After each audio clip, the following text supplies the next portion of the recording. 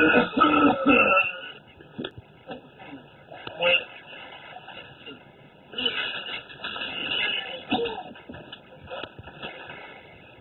could have done somewhere else. you should make a stew, nigga. What's that, coon stew?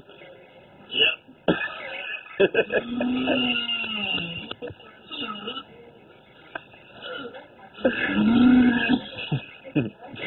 you want some water?